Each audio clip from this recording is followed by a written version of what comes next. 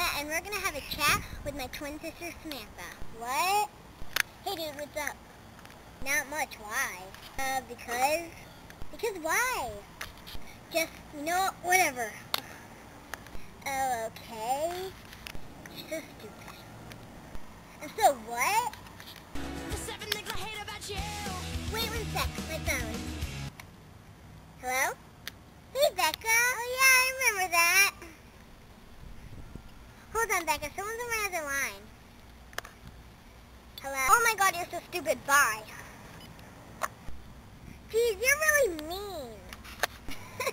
I have my moments. Hmm.